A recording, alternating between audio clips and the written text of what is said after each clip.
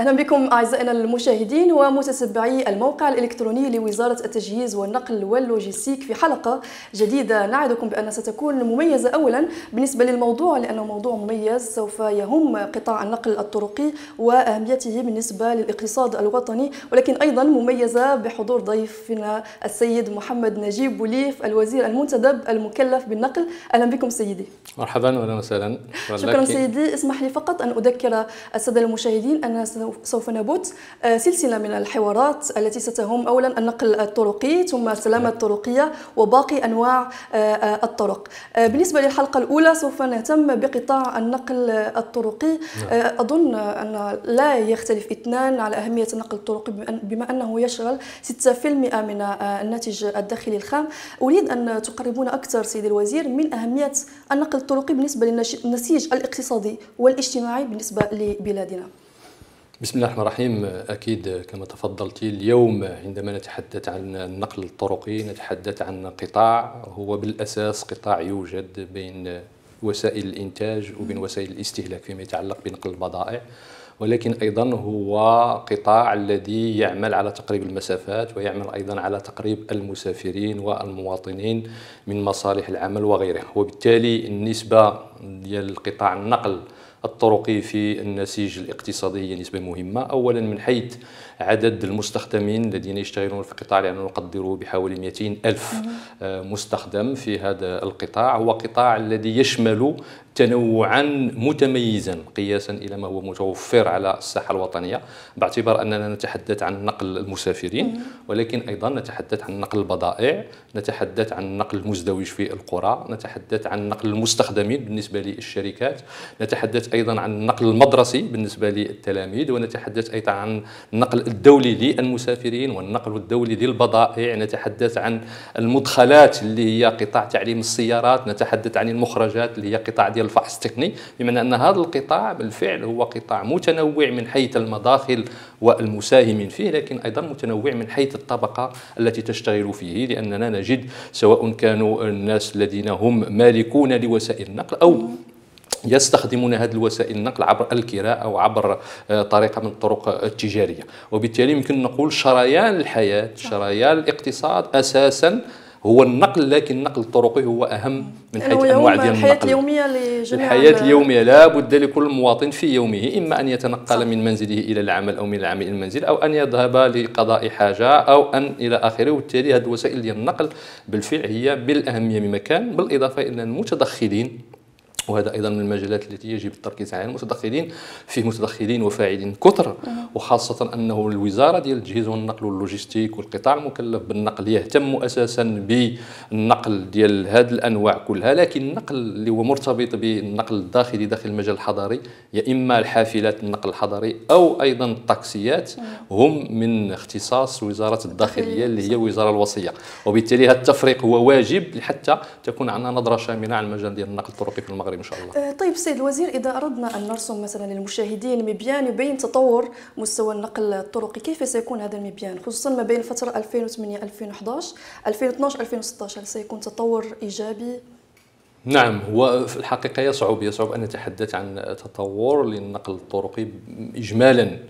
باعتبار أنه كما قلت النقل الطرقي هو عبارة عن جزيرات صغيرة النقل المدرسي نقل البضائع نقل المسافرين. لكن الظاهرة العامة هو أنه الحمد لله نظرا للتطورات أولا الجغرافية وأيضا الديموغرافية المرتبطة بهجرة ديال السكان وأيضا التطورات الاقتصادية اللي عرفت هذه المرحلة ديال العشرية الأخيرة.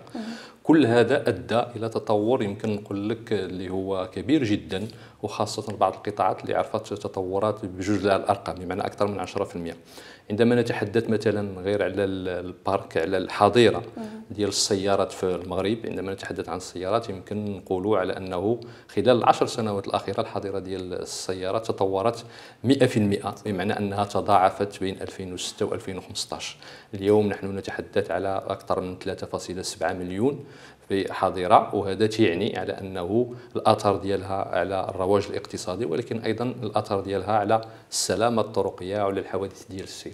اليوم عندما نتحدث عن نقل البضائع لما تم تحرير نقل البضائع. هذا القطاع من 2003 إلى 2013 2014 عرف تطور اللي هو جد إيجابي مع آه، إعادة النظر في الطريقة ديال الاشتغال ديال القطاع. نقل البضائع اليوم الحمد لله نحن نتجه نحو شركات اللي هي أكثر هيكلة وشركات أيضا التي تعمل على تجميع الأسطول حتى تكون ما يبقاش غير 1.2 اللي كان هو عندنا المعدل ديال الشاحنات ديال نقل البضائع. التطور المعروف على صعيد النقل المدرسي اليوم الحظيره تطورت بحوالي 150% خلال العشرية الأخيرة. وبالتالي عدد المدارس حتى هي اللي هي مرتبطة ديال تعليم السياقة أيضا تطورت بنسبة جد كبيرة حوالي 100% خلال العشرية الأخيرة. بالإضافة إلى المستخدمين نقل المستخدمين نعرف كاين واحد الطفرة وخاصة في المدن الكبرى. طنجة أساسا لأنه مدينة اقتصادية مؤخرا الدار البيضاء بالأساس ثم فاس اللي عرفنا فيه واحد التطور كبير ديال النقل ديال المستخدمين وخاصة بعد ما وضعنا دفتر التحملات الشروط القانونية والتنظيمية لمثل هذه القطاعات. سهلت الطريقة ديال الاشتغال ديال مثل هذه القطاعات. بالإضافة إلى القطاعات اللي هي مرتبطة عندما نتحدث عن النقل نتحدث عن مراكز ديال الفحص التقني اللي هي أيضا عرفت واحد الطفرة نوعية خلال العشرية الأخيرة. ونقدر نقولوا على أنه أيضا في هذا المجال تم التطور بأكثر من 100% خلال العشريه الأخيرة. طيب سي الوزير آه، نود أن نتعرف على ماذا قامت به الدولة لحل الإشكاليات المرتبطة بالنقل سواء نقل البضائع ونقل المسافرين أو حتى النقل الدولي. ما هي الإجراءات والتدابير؟ وبالفعل آه، اليوم عندما نتحدث عن قطاع ديال النقل تنديروا مرحلة فاصلة اللي هي نقل البضائع أساسا اللي كان في تحرير القطاع 2003 كانت استراتيجية عشرية 2003 2013 2014 اللي كان الهدف منها هو أننا بالفعل نمشيو نحو هيكلة ديال القطاع ديال نقل البضائع ونمشيو للتحرير. هذا القطاع اليوم محرر تماما. اليوم نحن في إطار صياغة عقد برنامج جديد مع القطاع المهنيين في مجال نقل البضائع على أساس أننا نتجاوزوا الإشكالات اللي طرحت في الاستراتيجية الأولى والعقد البرنامج الأول ونحاولوا نتجاوزوها بإضافة نوعية نحو مزيد من المهنية وأيضا العمل على ترشيد القطاع ديال نقل البضائع. فيما يتعلق بنقل المسافرين هذا القطاع في المرحلة الأخيرة عرف نقاش كما تعلمون اللي هو جد متطور مع المهنيين أكثر من ثلاث سنوات ديال النقاش. اليوم نحن مقبلون على عقد برنامج مع قطاع نقل المسافرين أيضا. الهدف منه بالأساس بعدما أوقفنا جميع التراخيص اللي زاغريمون اللي كانوا تيتعطاو نقل المسافرين ديال الأشخاص اللي ما بقاوش يتعطاو منذ 2012 2013 واللي جعلنا على أننا نوضعوا واحد المجموعة ديال الأهداف الرئيسيه اولا هذا القطاع خاصو يمشي نحو المهنية بمعنى أنه ما يبقاش فيه دخلاء اللي هما فقط تجاريين بمعنى تنقولوا مهنيين يعني الاستفادة اولا من الناس اللي عندهم تجربة ولكن أيضا استفادة من أبناء الخبرة. من الناس اللي عندهم التكوين البطاقه المهنية خاصها تكون باش يكون الواحد يشتغل في هذا القطاع. بالإضافة إلى الأهداف الأخرى المرتبطة بالجوانب الاجتماعية وبالجوانب المرتبطة أيضا بتجديد الحظيره للرفع من مستوى الأداء ديال الحافلات اللي عندنا في هذا القطاع. الجانب الآخر اللي هو مرتبط بالنقل المزدوج درنا فيه دفتر تحملات. اليوم أي مستثمر بغى يستثمر في النقل المزدوج عنده دفتر التحملات وتوفر فيه الشروط اللي هي بسيطة جدا يمكن يقدم الملف ديالو. هذا باش نحاولوا أننا نعطيو بالفعل المجال القروي نربطوه بالمحيط وأيضا نحاولوا أنه بالفعل يدخل في المحطات الاقتصادي والاجتماعي أيضا نقل المستخدمين فيه أيضا دفتر برنامج واضح دفتر دفتر تحملات واضح. الاستثمار فيه بسيط جدا. النقل السياحي أيضا فيه دفتر تحملات واضح مع عقد برنامج مع القطاع. أيضا ممكن الاستغلال الاستثمار في هذا القطاع ديال النقل السياحي بدون أدنى مشكل. اليوم نقل البضائع ونقل المسافرين على الصعيد الدولي. هذا القطاع أيضا اللي تعرف اليوم منافسة شديدة وخاصة بالجارة الإسبانية اللي اليوم عندهم وسائل. اليوم نشتغل على أننا نوقعوا عقد برنامج مؤخرا. فضل مع الأهل ديال القطاع. نشتغل مع الشركاء ديالنا في الاتحاد الأوروبي واساسا فرنسا وإسبانيا اللي عندنا معهم الرخص ديال التنقل هي الكبيرة على أننا بالفعل نعطيو دعم للمقاول المغربي على أساس أنه تكون عنده الوسائل ديال المنافسة. وفي هذا القطاع أيضا التجربه الحمد لله أبانت على أنه المقاول المغربي تيشتغل بطريقة اللي هي جد إيجابية.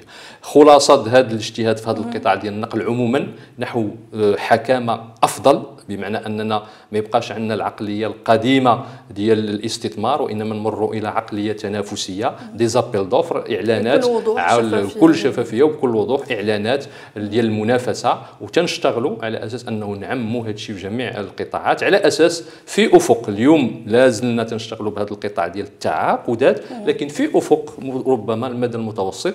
لما لا؟ يتحرر القطاع جميع هذه المجالات كما تحرر قطاع نقل البضائع لكن في أفق متوسط ليس الآن. إن شاء الله. سيد الوزير ننتقل إلى نقطة مهمة وهي الإجراءات المتعلقة لمحاربة اقتصاد الريع. آه، نعلم أن الوزارة اتخذت مجموعة من الإجراءات في في ما يخص هذه نعم. هذه النقطة. نود آه، أن تقربونا أكثر من التدابير التي اتخذتموها في ملف المأذونيات يعني أن تعطونا آه، تفاصيل نعم. أكثر هو الأصل في اقتصاد الريع ومحاربة اقتصاد الريع. اليوم كاين توجه ديال البلاد ديالنا الخطابات الملكية كانت واضحة. على ضرورة اعتماد اقتصاد منفتح مبني على التنافسية وعلى الشفافية.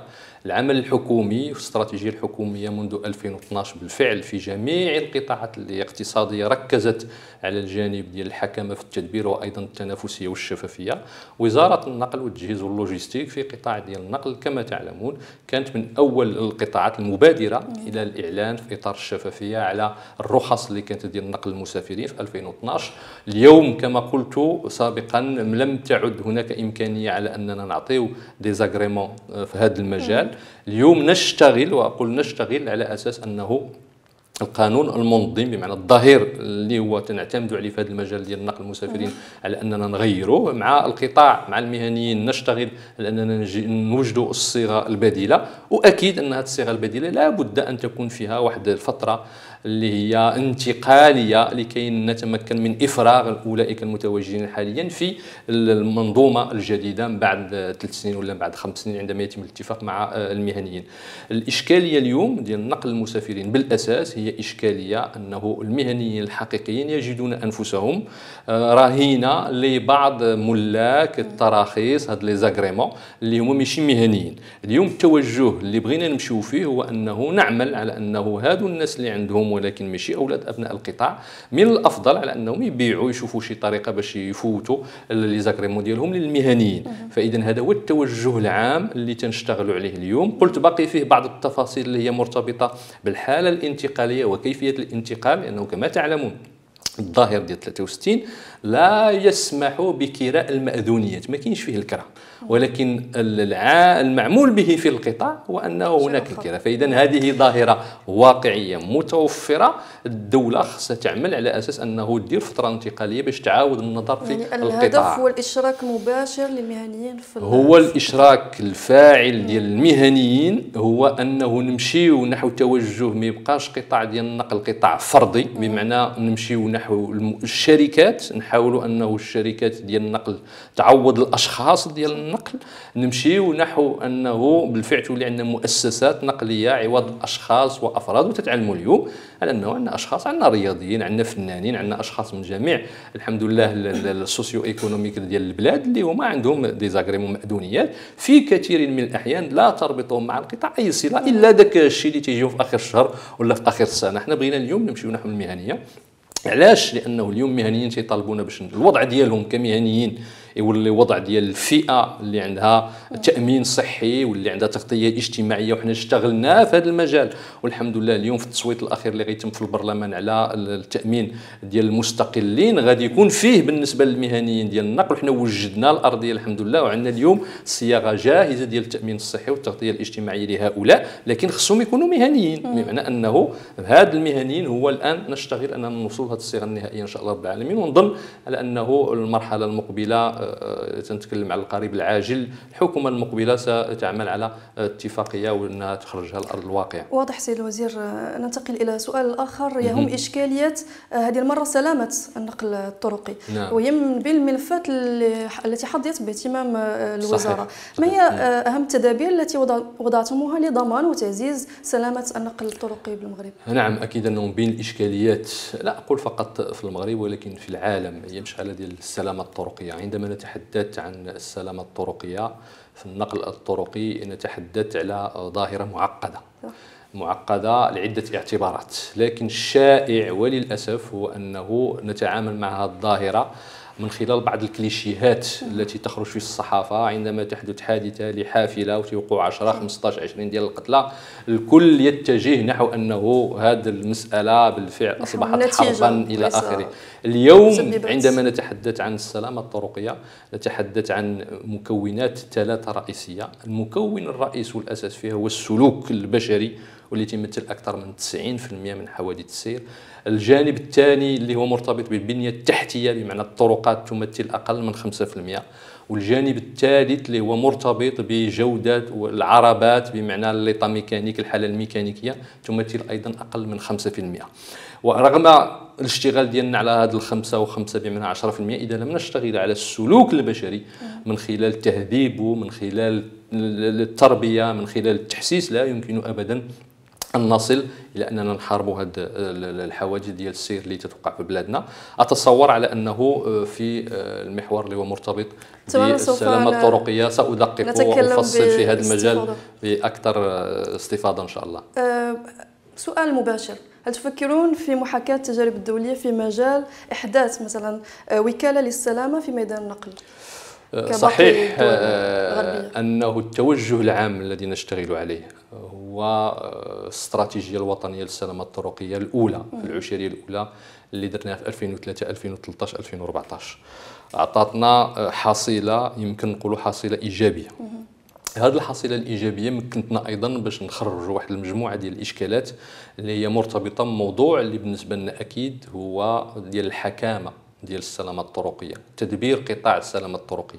لا يمكن للجنة الوطنية الحالية اللي هي لجنة وطنية تابعة لوزارة التجهيز والنقل واللوجيستيك واللي العدد ديال البشري فيها لا يتجاوز واحد 50 51 موظف اللي الإمكانيات ديالها متاحة واللي بالفعل حتى النص القانوني الذي أحدثها فيه اشكاليه أن الدور ديالها بالأساس هو دور ديال التحسيس وديال التربية وديال التوعية.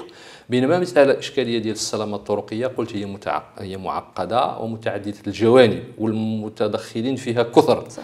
علاش اليوم الفكرة الرئيسية والمركزية في هذا المجال هو أننا نحدث وكالة اللي الدور ديالها الأساس هو تكون عندها التقائية ديال المجال ديال السلامة الطرقية من ألفه إلى يائه من بدايته إلى نهايته. أن تجمع جميع الفاعلين والمتدخلين وتجمع جميع أيضا الاستراتيجيات والإجراءات التي تتخذ على عدة أصعدة على أساس أنها تكون عند توحيد الرؤيه عند توحيد الرؤية أساسا ولكن أيضا تجميع الفاعلين وتجميع الإجراءات من خلال احداث هيئة اللي غتكون عندها وسائل ذاتية مستقلة وهي اللي غتوفر الطريقة ديال التدبير ديالها. وهذا الإجراء قمنا به آه، بعد ما قمنا بعده دراسات عده دراسات اللي كانت اولا ميدانية ولكن أيضا دراسات مع الإخوان في البنك الدولي اللي قدموا لنا تجارب اللي هي دولية واللي الدراسة خلصت على أنه الدول الناجحة القريبة منا أو البعيدة في مجال السلامه الطرقيه هي تلك الدول التي اعتمدت مثل هذه الوكالات. اليوم التوجه هو أننا نحدث وكالة. والحمد لله النص القانوني اليوم راه في البرلمان. تم تقديمه في اللجنة التابعة لمجلس النواب وكنا وصلنا للمرحلة الأخيرة ديال المصادقة والتصويت عليه في مجلس النواب. لكن نظرا للخروج ديال النواب في آه، آه، بعد آخر الدوره ديال الصيف هذا النص سيعاد التصويت عليه إن شاء الله رب العالمين في الدخول البرلماني المقبل. طيب سيد الوزير أعود بك إلى قطاع النقل الطرقي ومردوديته والرفع من تنافسيته، هل فكرتم في وضع مؤسسة تعنى باقتصاد النقل؟ وبالفعل هذه فكرة لحد الآن آه، لم نستطع أن نخرجها إلى حيز الوجود هي بالفعل فكرة وبادرة آه، جيدة. باعتبار أن آه، في بعض الدول كما تفضلت هناك إحساس واضح بأن التخصص الاقتصادي يلزم جميع القطاعات الإنتاجية على أساس أنه يكون عندنا اقتصاد متخصص. لكن مازال عندنا واحد الفكرة يمكن نقولوا إحنا في المغرب هو أنه الاقتصاد هو الاقتصاد الإنتاجي. الاقتصاد الخدماتي الذي يقدم خدمات لا نفكر في أن نعطيه الحيز والإطار القانوني المستقل. علاش اليوم نحن اشتغلنا اولا على صعيد اللوجيستيك باش ندخلوا الخدمات اللوجستيكية في إطار الهيكلة الموضوعاتية المرتبطة بالقطاعات الإنتاجية. بالإضافة إن أنه اليوم إذا كان هذا القطاع ديال اللوجيستيك بدا تيلقى المكان ديالو في المنظومة الإنتاجية قطاع الخدمات اللي هو قطاع ديال النقل بالفعل خصو يكون عنده اليوم قطاع اقتصادي متخصص بأفكاره وباستراتيجيته ولما لا بمديرية عامة التي تفكر في إطار الوزارة ولا في إطار منظومة مستقلة يمكن تكون إما مركز دراسات أو غيره اللي الدور ديالو بالأساس يكون هو التفكير في الاليات ديال الاشتغال ديال القطاع ديال النقل من الناحية الاقتصادية ولكن أيضا التفكير في إنتاج منظومة اقتصادية اللي هي مرتبطة بالجانب ديال النقل. جدا نعم. السيد آه، محمد نجيب بوليف أشكرك جزيل الشكر على كل هذه نعم، المعلومات المستفيضة حول قطاع النقل الطرقي وأضرب موعدا جديدا لمشاهدينا في حلقة أخرى سوف نتكلم فيها عن السلامه الطرقية. شكرا لك سيدي مرحبا. شكرا لك. شكرا.